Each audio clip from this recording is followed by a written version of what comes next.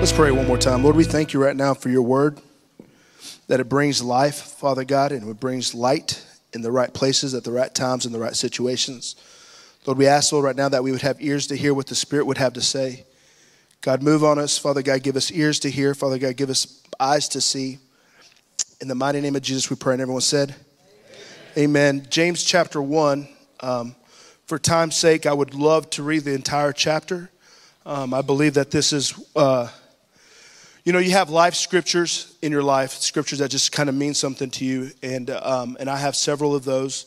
Um, but one of these, the one chapter that I feel like I always go back to, that I always feel like I go back to, is James chapter one, and specifically I go back to a lot of times where the testing of your faith produces.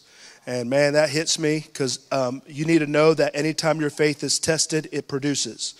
But you also need to know that everything in your life always produces something. So if you're not tied to your faith, you're still producing something in your life. And uh, so God's just spoke to me in so many occasions about the testing of my faith and, and the perseverance. And, and uh, so I want to go into the scripture, but I want to go, let's just drop down for, for time's sake. Like I said, I, like I want to go through this whole chapter, but let's drop down to verse, um, verse 17. Or let, let actually, let's drop down to verse 14 and we'll read there. He said, But each one is tempted when he is carried away and enticed by his own lust. First of all, you need to understand that sin is not just sin, sin is an enticement for more sin. Sin doesn't come just on its own, it always brings friends. And when it brings friends, it's from a exposure of the heart. You know, someone doesn't just, you know, I just fell into sin. No, there was a thought first. The thought seeded it enticed you, and then it produced. And so understanding that, that a lot of times that we, we, we say things like, well, I just fell into it. Well, you didn't fall into nothing. You, you, you, you stepped out of something. So, we, well, I fell out of, no, you stepped out of grace. You stepped out of your, your covering. And, and I say that because of what, where we're going to go. So here we go. It says, so uh, each one is when carried around, but enticed by his own lust. Then when lust has conceived and it gives birth, remember, because everything gives birth, everything produces, gives birth to sin. And to, when sin is accomplished, it brings forth death. See, the wages of sin is death.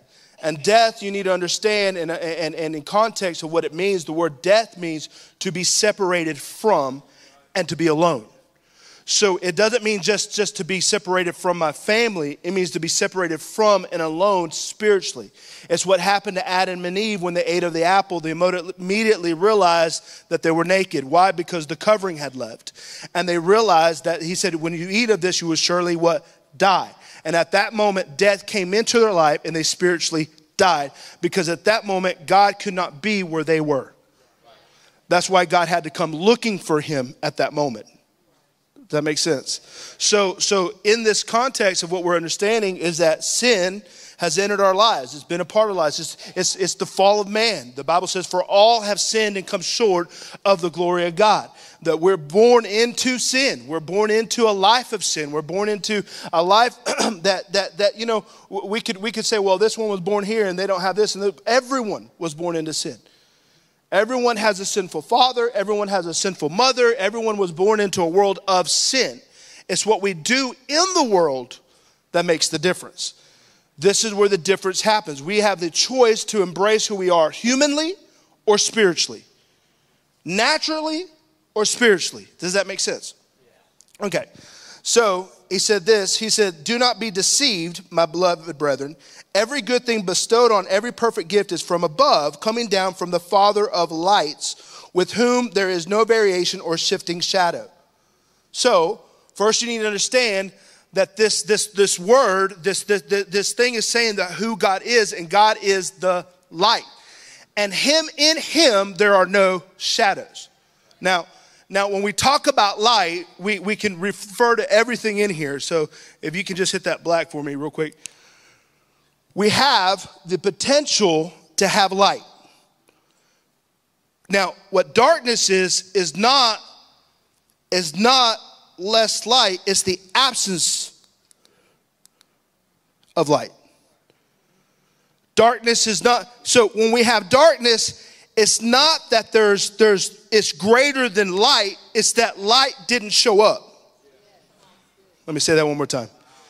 Darkness is not that there was no light or there was no there, that, that, that darkness had the ability to overcome it, that had the ability to overpower it, is that some way, somehow, there was an absence of light. Does that mean I see people glowing all over this room? Why? Because you have lights on your phones. So you can turn on real quick. And and we're going to get to this real quick. Uh, I'm getting ahead of myself. So he said, Every good, perfect, bestowed, every perfect gift is coming from the Father of lights, right? The Father of light, with whom there is no variation or shifting shadow. This is crazy because it says the Father of light. So then when God said, Let there be light, he was saying, Let there be me.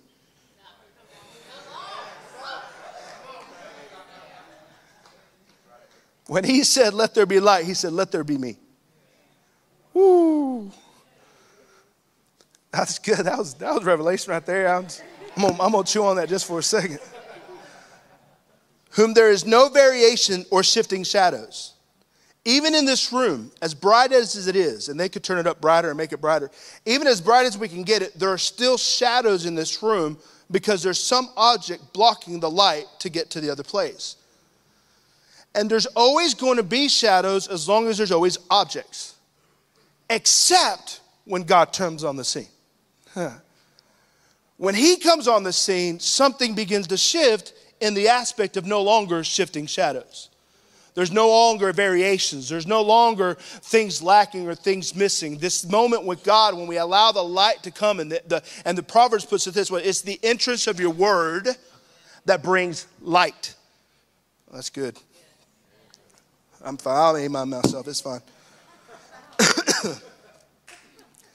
He said, In, the, exercise, in the, the exercise of his will, he brought us forth by the word of truth, so that we might be, as it was written, the first fruits among his creatures.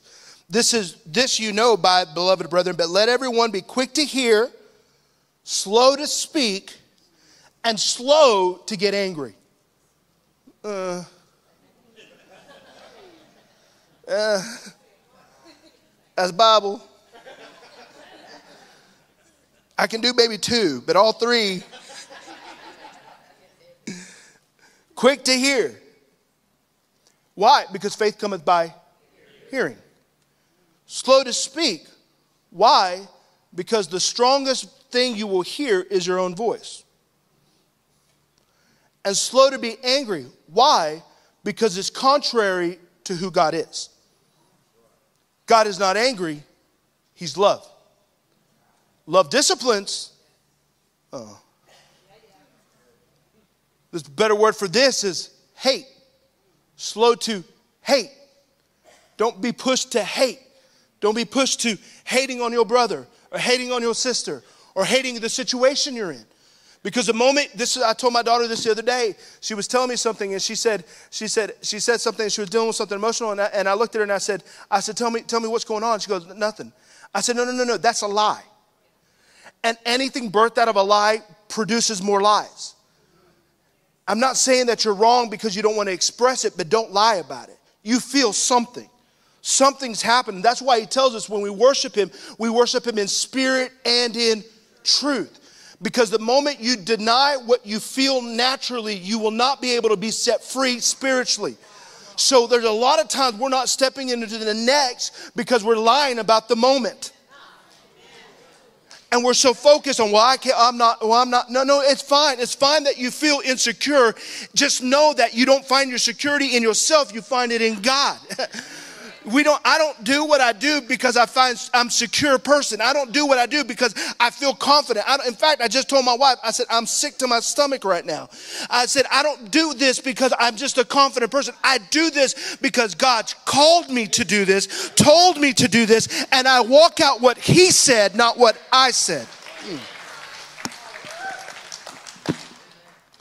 we're not even to the right text here this you know, beloved brethren, let everyone cook. Oh, we saw did that. For the anger of man does not achieve the righteousness of God. That's why. That's why. That's why he wants you to be slow to anger because anger doesn't achieve anything. It has no righteousness in it. They're put, putting aside all filthiness and all that remains in wickedness in the humility receive the word implanted which is able to save your souls. Ooh. This word is implanted, and in it brings deliverance. The implanted word of God brings deliverance. If you want to be set free, you have to implant the word of God into your life because the implanted word brings light. Does that make sense? Okay. Uh, then it says here in verse 22 but prove yourselves doers of the word and not merely hearers who delude themselves. The King James Version says, who deceive themselves. I like both words because deception and deluding are the same thing. The thing is, with deception, we automatically get in our mind that it's immediately happening. The word delude tells you that it's a gradual process. If I'm diluting something, if I'm diluting, if I, if I, if I was to, to delude something and I don't want the, the, the potency of what it is, the potency of what it can do, all I have to do is add a little bit more water to it, and eventually it will start to dilute itself. And if I add enough water to it, it will no longer be the substance it was created for. And so, what happens is that a lot of times the diluting of our life doesn't happen just from day one. The diluting happens from time after time after time, but he tells us here how we get diluted. He says, when you're a hearer of the word and not a doer of the word. There's a there's this thing that my mom, I mean, you see it all over social media now, but my mama used to tell me this, so I said my mama wrote it. Deceived people don't know they're deceived. There's revelation. Some of you are like, whoa, well. Deceive. If, if I'm living in deception, I don't know that I'm living in deception this, this sermon was actually came from, from a, a, post we saw, and we, Tracey and I were trying to look where we found it, where we saw it, where was the story at. But there was a kid who, who, who went to uh, his parents and, and was having headaches, complaining headaches, all this stuff. And um, was, they were getting worse and worse and worse, and they'd done everything, and they finally decided to take him to the eye doctor. They took the young man to the eye doctor. Um, the dad said that he had uh, always had, they would always go watch movies, and this kid would always fall asleep in the movies always fall asleep. So they took him to the eye doctor. They get to the eye doctor. They realize and find out that this kid needs glasses. He needs glasses. Never, never, never, never complained about not being able to see. Never complained about never being able to see. Just all of a sudden had headaches and said, Hey, I need glasses. They come up there, they give him glasses. The prescription is a very high strength prescription. They decide that they, you know, his life, he just just changed. He just started seeing things differently everything. They go to a movie. They decide to go to a movie. The dad's thinking, we're going to a 1030 movie. For sure, my son's going to be out sleeping again. That's fine. Him and his other son, they'll enjoy the movie and they'll tell him about the movie later. They get to the movie theater. They sit where they usually sit, towards the back. As they're watching the movie, he notices his son starting to take his glasses off, put his glasses on. Take his glasses off, and put his glasses on. And his dad goes, What are you doing? He said, Dad, I've never been able to see the movie. And his dad said, Well, why didn't you ever tell me? He said, I thought everyone saw that way. And I started to think about how many of us don't realize we're actually blind in scenarios of our life because we haven't stopped to see the doctor. We haven't stopped to ask something different. We haven't bothered to step out of what's been told to us all our lives. I, have talked to people since we've been here. I've met some of you in this room. I've talked to you and about how you talk about how the Jesus you found now. Like if I would have known the Jesus I know today, if I'd have known Jesus I know right now in this moment, my life would have been totally different. But you don't realize it until you see it. You don't, you don't recognize it until, oh man, aha, wow, God, don't drink. There it is, Revelation. right? And, and I started to think about the process. So here, here's what it says. If you, if, you, if you hear the word, but you don't do the word, you dilute it. For everyone who is a hearer of the word and not a doer is a man like who looks in the natural face in the mirror and then forgets who is. Let me, let me read it the way it says. For anyone who is a hearer of the word and not a doer, he is like a man who looks at his natural face in a mirror For once he has looked at himself and gone away, he has immediately forgotten what kind of person he was. Mm. So, I brought a mirror. I told Pastor Josh I needed this black thing on there because I didn't want y'all looking at yourselves the whole time. Oh, that bright. It's bright right there. That kind of goes into my sermon, so give me one second. This mirror, to reflect anything, can you just bring the lights, just all of them, just down a little bit so we don't blind everyone? There we go. This mirror, to reflect anything, requires light. For you to see yourself, light has to be present. Not just that, for me to see in the mirror, it can light must be present, and they call it, they call it, this is this is the science behind it. It's called the incident. The incident is the object that is standing in front of the mirror that has the light reflecting off of it must be in the same angle as the ref- light reflecting off of the, the mirror. So when the reflection happens, what it does is it's not the light, watch this, it's not the light hearing the mirror that reflects the image. It's the object reflecting light that reflects. It's not, it's not the light being exposed to the mirror. Let me just put it in a way you understand. It's not about these pages just jumping off of me. It's about these pages shining to me. It's about the implanted word of God in my life. And I started to think, I'm gonna turn this around so I don't mess you up too much. I started to think about different things. And one of the things that I started thinking about is we have different, we, got, we, we use in lights and stuff like that, we use these things called filters. And um, sin, we, on, we understand sin. Sin has an, an object, it, it, can't, it really can't it can't receive light. It has nothing. It's black. It's dark. We know that. We understand that. If I was to put this here and have you look, you couldn't see yourself because it blocks the reflection. We understand that. We understand that. We understand that sin blocks reflection. We understand that denial. It's not just a river in Egypt. Denial. Denial, when you're, when you're denying that you have a problem. You know that. You know, you know when someone's denying something, you're like, that person, look, if they would just get it right, they just in denial.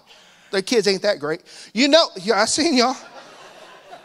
You know, it does, it does allow some light to come through, but not enough. You can't see, you know that if I was to put this in front of the mirror, you would never be able to see yourself.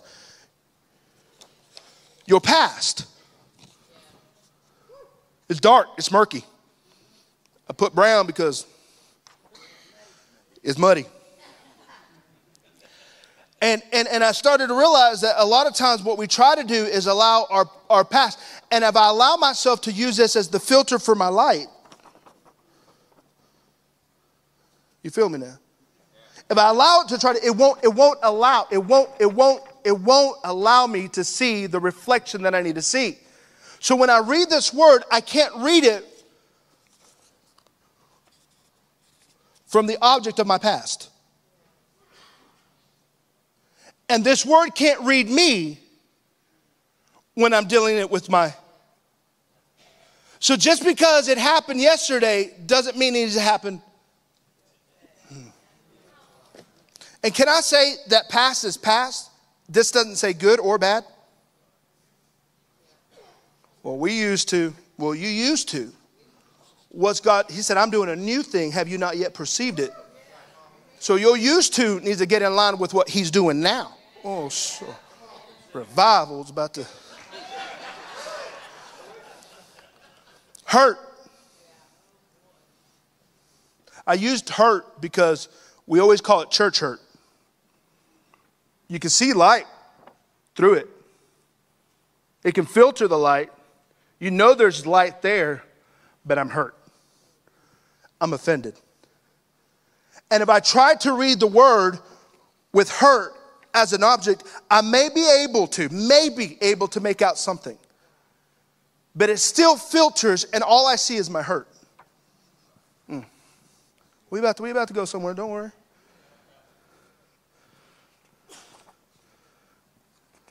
Complacency, being complacent, being okay. I'm just, I come to church, I'm here on Sundays, I'm on Dream Team, I even do nursery. You, you better get revival should stir right I'm just kidding. But if we allow ourselves to be complacent, though it allows light to come through, we never be able to see the word for what it is. Familiar. That's just the way we've always done it.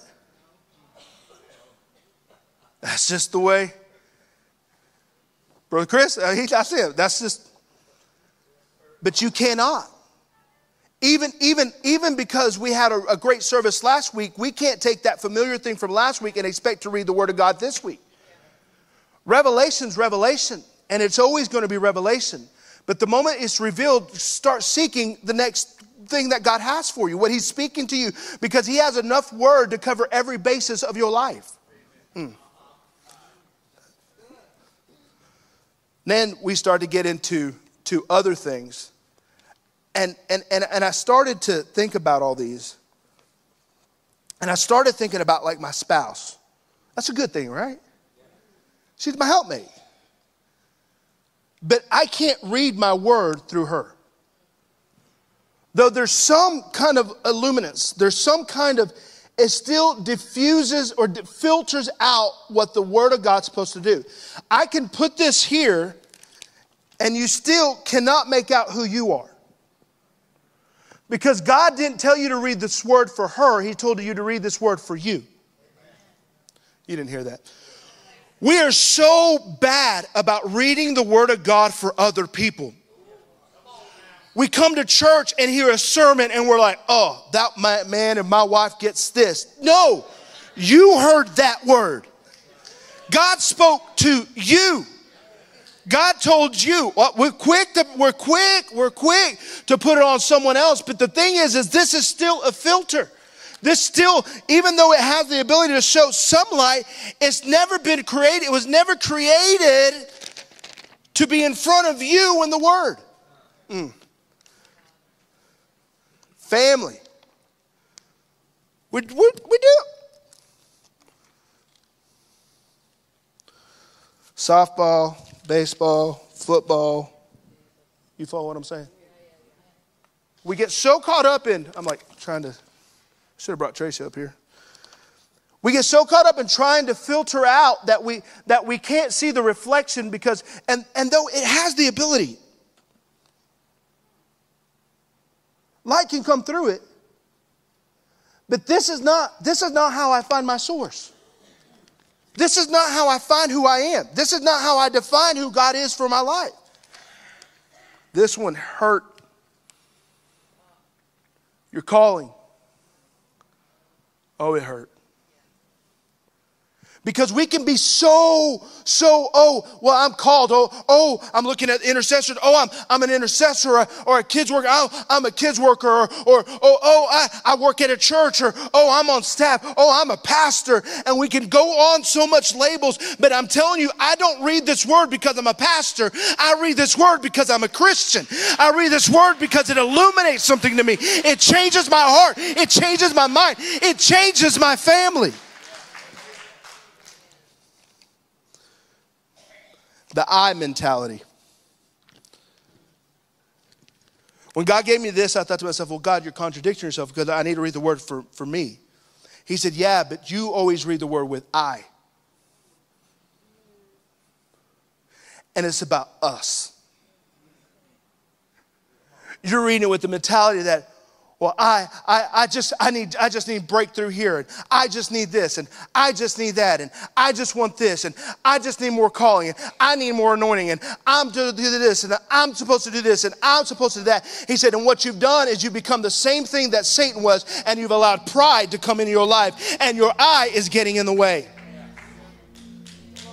You've allowed yourself to get in the way and it filters. This is the same complex that Moses had. He said, Who tell them that I sent you? And he said, Well, who am I? Who am I? What about me? What about what God you want to do in me? What about me? And I started to recognize that we look at these as filters, but these are actually veils.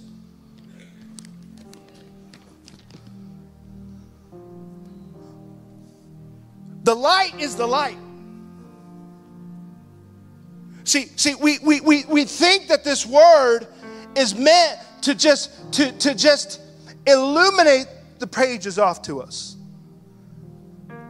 But he says, if you hear the word, if you read it, is you're looking like a man that's looked in the mirror and forgot who he was. Forgot his nature, forgot his calling, forgot. Don't do that forgot what God said in him, forgot what God placed in him. And, and when we do, what we do is we, we get so caught up in the I mentality that we lose grip on what God's really called us to. Before he called me to be a pastor, he called me to be a son. You didn't get that. Before he ever called me to preach the word, he called me to read his word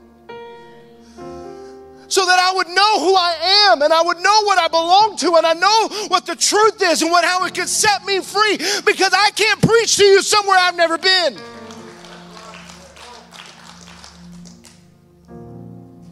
The Bible says in Second Corinthians, it's my favorite scripture, 317. Now the Lord is the Spirit, and where the Spirit of the Lord is, there is freedom but not to be undone with verse 18. And now we all, with unveiled faces, reflect. This illumination happens because the veil.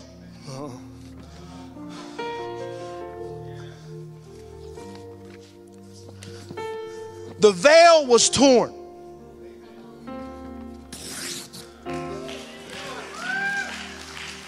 It didn't matter how familiar or how whatever. The Bible says he tore it from the top to the bottom so that no one would get the glory but God.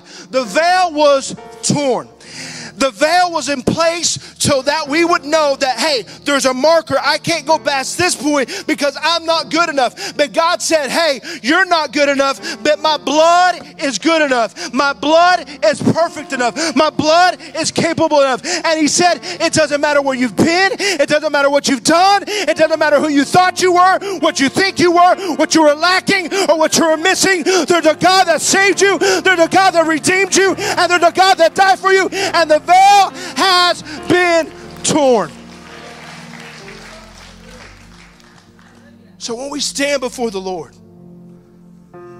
we stand with the ability to reflect His glory.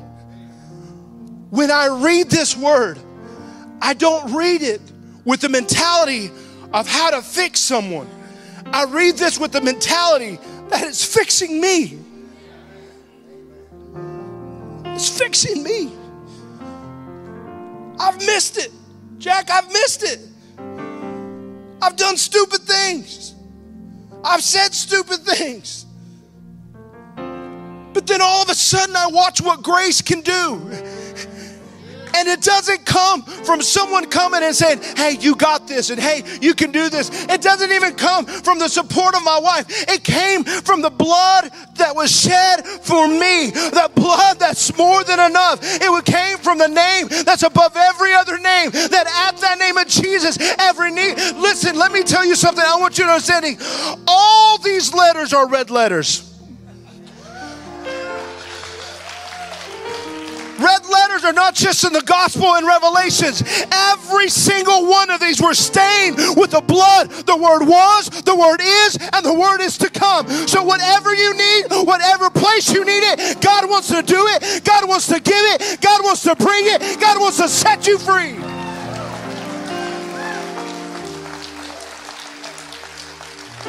Let's stand.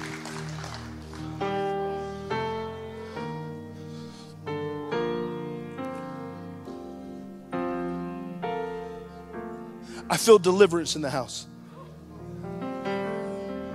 I feel freedom. I feel it. That sound we hear is chains falling,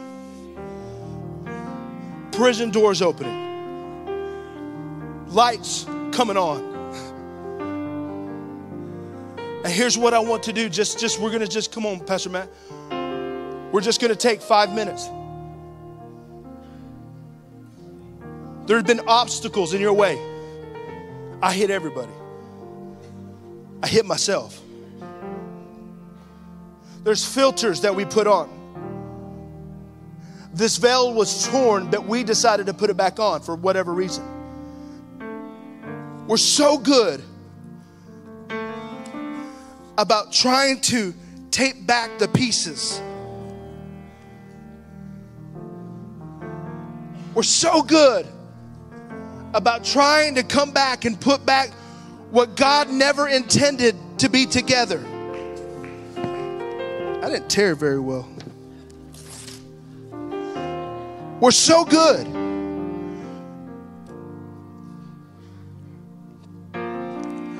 Oh.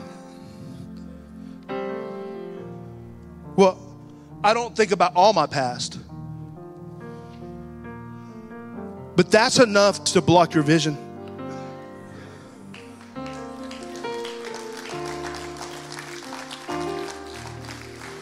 I thought this, I thought I had this picture today. Some of us can't see us doing God's work because we're looking at our hands through the filter of our past. Well, i I'm never going to be on a microphone because you don't know where I've been.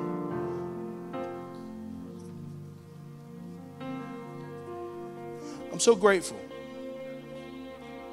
I'm so grateful that the calling is not about you, it's about Him. Moses could have looked there and said, I've killed a person. David could have said, Do you not know what I've done? We have different people. I, I preached uh, Sunday on Rahab. Rahab, she was a harlot. However, you want to classify that as, that's what she did. She lived a life that way. But isn't it good? Isn't it great to know that the blood, haha, the blood covers it all. The blood, what? I misspoke. The blood washes it all white as snow.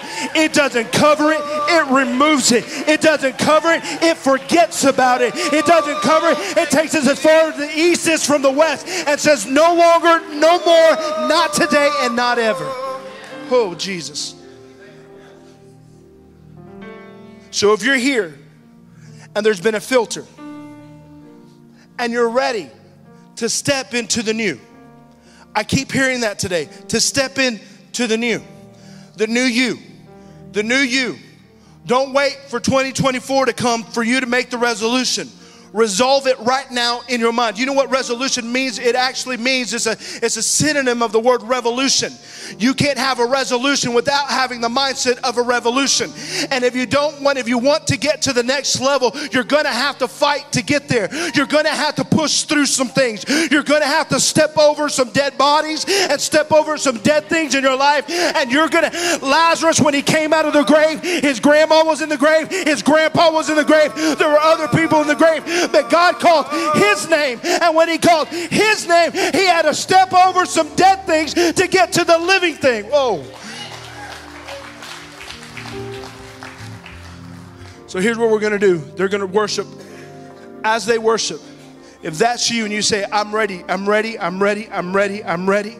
I'm ready to be unveiled. I'm ready to see it for what it is. I'm ready to step. If you're looking for new depths in God, today's the day. I want you to make your way up to the front right now. Come on. Come on. That's you. Come on. That's it. That's it. That's it. That's it. That's it. That's it. Come on. Yeah. Yeah. Yeah. Yeah. That's it.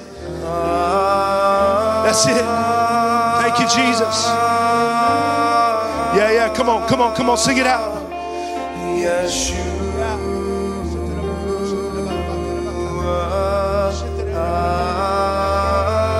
Get some altar workers behind them. Come on, just put your hands on them. Just start to pray life into them. Lord, we thank you, Jesus. Yes,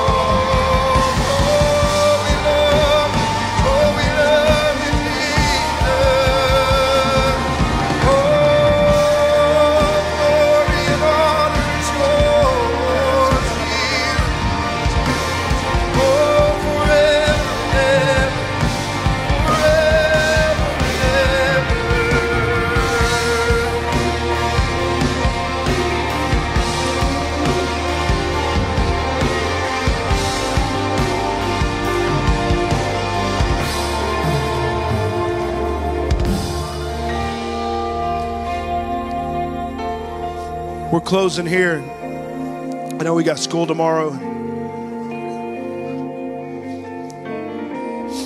I'm so grateful for pastors that love Jesus. I know they're not here, but before we close, can we just lift up our hands and just give God glory and praise for our pastors? And let's pray, Lord. We thank you right now for Pastor Darrell and Donna. We thank you for the gift, Father God, they are to us, Lord. Lord, we ask that you would keep them in perfect peace as their mind stays on you, Lord. We pray a blessing over Pastor Donna as it's her birthday that you will do exceedingly abundantly above, above anything she could ask, dream, imagine, or fathom, Lord. Lord, we thank you for the call, Father God, of Central Church.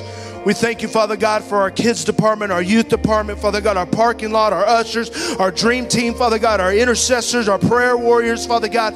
We thank you for our prayer teams, Father God. God, be with the prayer teams, Father God, as they're going into the trenches, Father God, and going into the front line and causing, Father God, life to come back to what is. They're leading people into life change, Lord. So, Lord, we thank you for what you're doing in this house. We thank you for the anointing and the freedom, Father God. We thank you for both campuses, Lord, Father God. We thank you that Sunday Sunday will not be just a regular Sunday, but it'll be a life giving, life altering Sunday that people that have been waiting to hear your voice would hear it clearly, Lord Father God. We strip the veil off ourselves and we allow the entrance of your word to bring light, Father God, and expose the darkness, Father God. Darkness can't hide, it has to go in the name of Jesus. In the name of Jesus, we pray. We give you all the praise, we give you all the glory because your name is great. In Jesus' name we pray. And everyone said, Amen.